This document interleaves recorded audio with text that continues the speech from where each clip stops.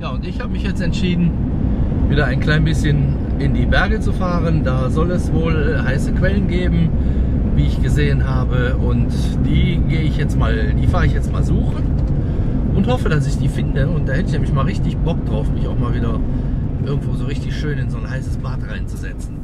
Ich hoffe, das klappt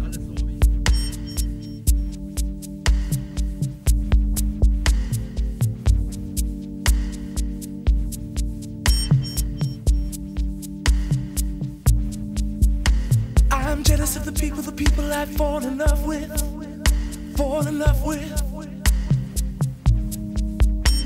I'm jealous of the people, the people I try to be more like, try to be more like. I'm even jealous of the people who hate me, hate me more. The complete history of sexual jealousy, part 17 to 24.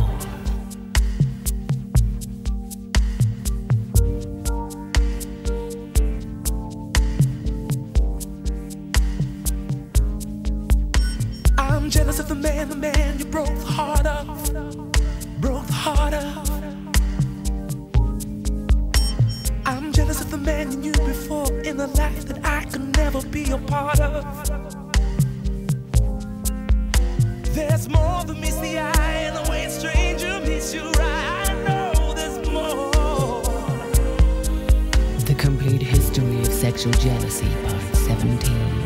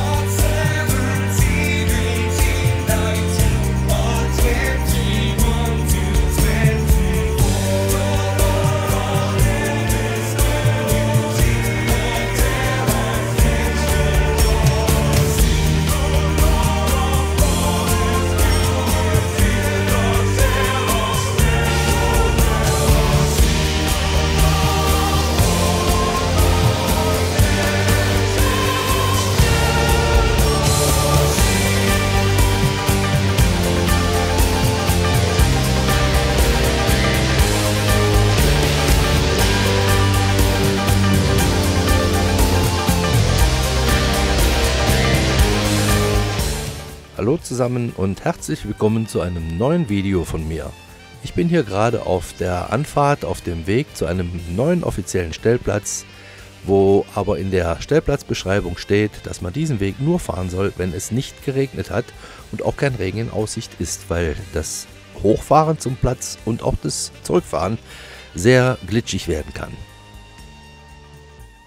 Ja, und der Stellplatz ist direkt neben dieser wunderschönen Schlucht, die ihr gerade gesehen habt. Da soll es dann heiße Quellen geben. Ich äh, habe sie als nicht sehr heiß empfunden. Die waren gerade mal lauwarm, also ausreichend für die Füße reinzustellen. Aber trotzdem alles in allem eine fantastische Schlucht und dicht neben diesem wunderschönen Stellplatz. I'm jealous of the people, the people I fall in love with, fall in love with. I'm jealous of the people, the people I try to be more like, try to be more like. I'm even jealous of the people who hate me, hate me more. The complete history of sexual jealousy. Und für diejenigen, die gerne wissen möchten, wo das denn hier ist, das ist La Val de la Yepa. Also wenn man von Tarragona wieder links rumfährt ins Landesinnere nach Spanien, dann ähm, kommt man hier irgendwie vorbei. Ich bin hier auf einem wunderschönen kleinen Parkplatz, direkt an der Schlucht, die ich vorhin auch gezeigt habe. Und es stehen nur ganz wenige Leute da. Da hinten steht eine junge Frau, eine Spanierin mit einem Hund. Und da vorne, hinter meinem Wohnmobil hier, steht noch eine Belgierin. Und davor steht noch ein Deutscher mit einem Sprinter. Das war's. Ja, und wir sind hier schön direkt an der Schlucht. Eine wunderbare Location und ja, ich glaube, hier kann ich so zwei, drei Tage aushalten. Wichtig ist, Müll mitnehmen und wenn man die Möglichkeit hat, mehr mitzunehmen, als wie man selber produziert, dann finde ich das sehr, sehr wichtig und auch wirklich lobenswert. Am Abend habe ich mir dann noch schnell mein Fahrrad geschnappt, weil es war nämlich für den nächsten Tag etwas Regen angesagt. Ja, und da habe ich noch eine kleine Radtour gestartet in Verbindung mit einer kleinen Wanderung.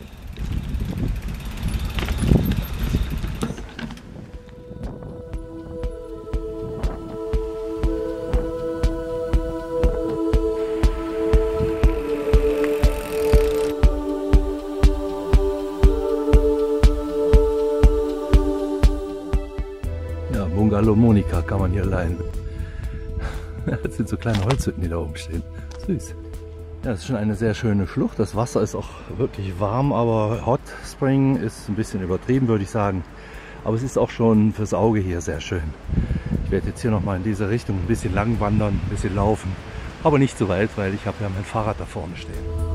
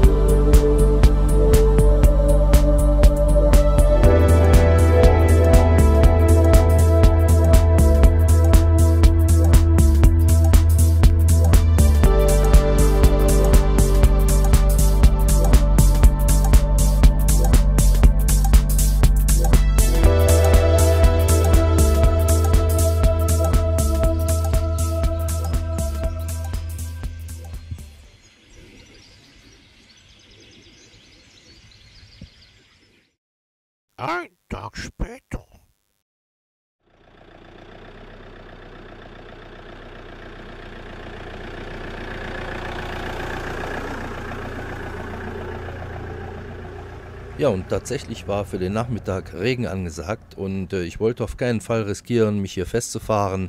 Ich wollte den Boden nicht total kaputt fahren oder am Ende noch von der Straße rutschen. Also nutzte ich den Tag und fuhr weiter zu meinem nächsten Ziel.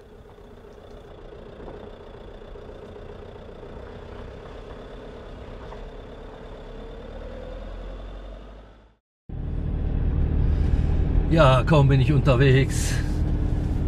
Da geht das schon wieder los mit so winzig kleinen Straßen. Maximale Fahrzeuglänge stand da gerade 8 Meter, aber das habe ich ja nicht. Bin ja bei 6, aber Gegenverkehr ist das Problem. Aber ich muss auch ganz ehrlich sagen, ich liebe das. Ich finde das sowas von schön. Die kleinen Straßen, man fährt langsam, man hat Zeit zum Gucken. Man sieht ein bisschen was vom Land, als irgendwo über eine Autobahn durchzurasen. Da habe ich überhaupt keinen Bock drauf.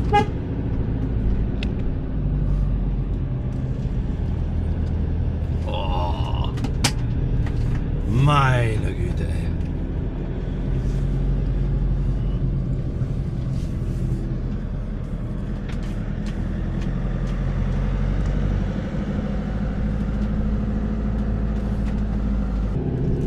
Also dieses Spanien fasziniert mich immer wieder.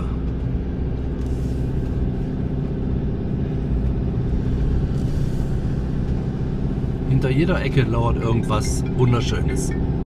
So, Also ehrlich, ey, das Sträßchen, wo ich jetzt hier gerade fahre.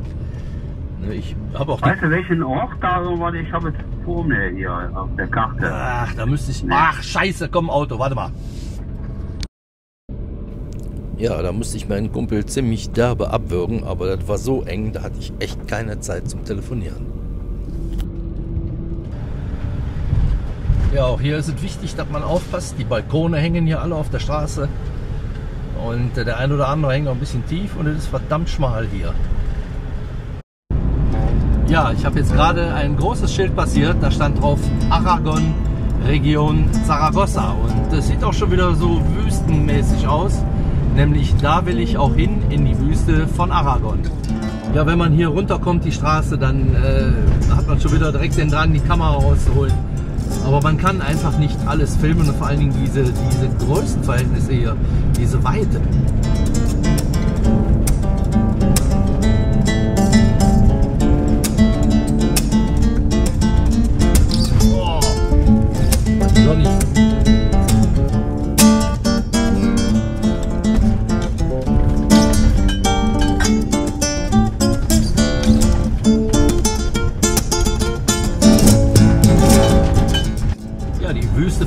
Aragon heißt ja auch Wüste de Monegros. Das ist aber keine Vollwüste wie Tabernas, sondern eine Halbwüste. Ja, die Ruta Jubire oder Jubire oder wie es heißt, soll wohl die interessanteste Route hier sein. Und die werde ich jetzt mal fahren, soweit es irgendwie möglich ist. Mal gucken, ob das mit diesem Auto überhaupt machbar ist. Ja, und vor allen Dingen will ich mal schön langsam fahren, damit es hinter mir nicht so staubt. Jetzt habe ich mal einen Meter hoch den Dreck im Auto liegen. Hier habe ich mir ja wieder ein Ding ausgesucht. Mein lieber Mann, ey. Ich bin mir auch nicht mehr sicher, ob ich noch auf dem richtigen Pfad bin. Aber jetzt bin ich einfach mal runtergefahren. Muss wieder Obacht geben auf meine Ölwanne. Und hoffe, dass alles gut geht. Ja, irgendwie war das nicht die richtige Strecke, die ich da erwischt habe. Irgendwie ähm, bin ich auch von der Route abgekommen. Es stand aber auch keinerlei Schild mehr da. Und deswegen suche ich mir jetzt was anderes aus und muss jetzt nur irgendwie versuchen, auf die Straße zurückzukommen. Ja, das wird das Schwierigste sein. Und das will ich auch dem, dem Auto hier nicht länger zumuten und auch vor allen Dingen den Reifen nicht.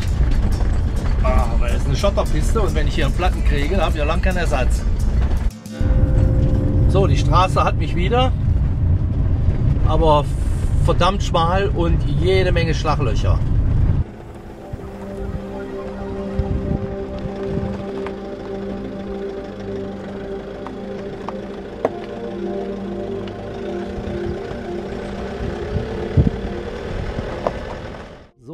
Ziel erreicht, Stellplatz gefunden, also schaut euch das mal an hier.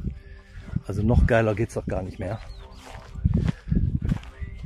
Das hat mich zwar ein, äh, ein Stück Arbeit gekostet, hier hochzukommen und überhaupt hier hinzukommen. Aber sowas ist doch wohl vom Allerfeinsten, oder?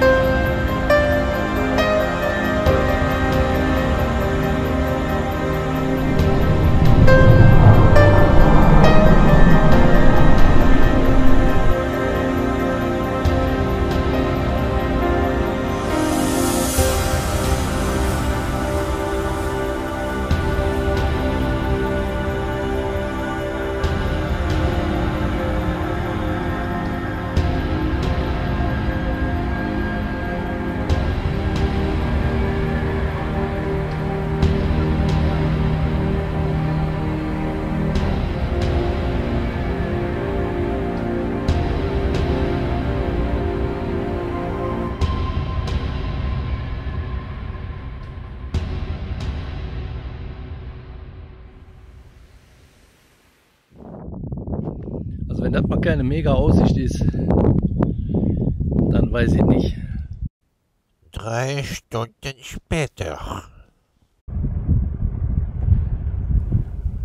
Leider habe ich dann den Platz verlassen müssen, denn der Wetterbericht sagte schlechtes Wetter und Regen an. Das kann in einer Halbwüste ja durchaus mal passieren. Und ich weiß, wie dann die äh, Straßenverhältnisse, die jetzt noch knochentrocken sind, äh, sich schlagartig ändern und äh, in eine Schlammpiste verwandeln. Und dieses Ri- Risiko wollte ich nicht eingehen und habe dann ja diesen Wüstenbereich verlassen und mir ein anderes Plätzchen gesucht.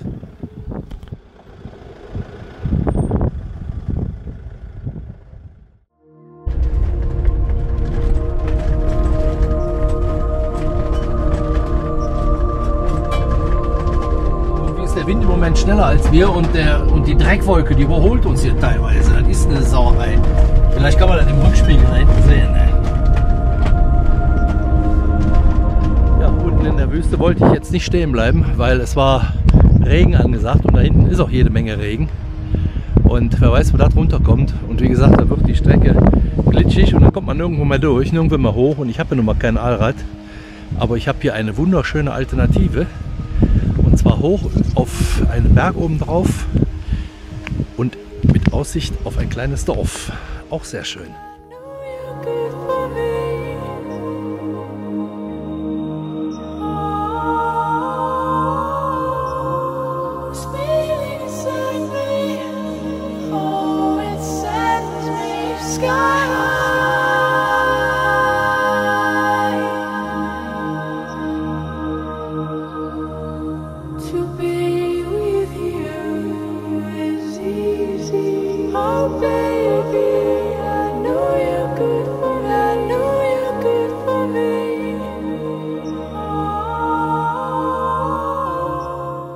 Ich hoffe, dass euch dieses Video gefallen hat und natürlich hoffe ich, dass ihr beim nächsten Video auch wieder dabei seid.